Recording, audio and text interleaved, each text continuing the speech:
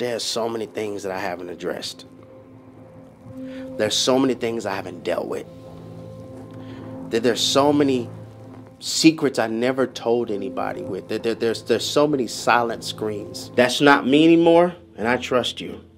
I trust you with what hurts. I trust you with my fears. I trust you with my inadequacies. Because a man can give you a lot. He can give you his time, he can give you his money, he can even give you his body, but you not have his heart. You have my heart. And heart rehab showed me that I don't want to look good for the gram.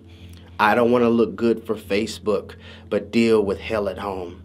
My, my, my home should be my safe place. My home should be my safe house, not my psychiatric ward.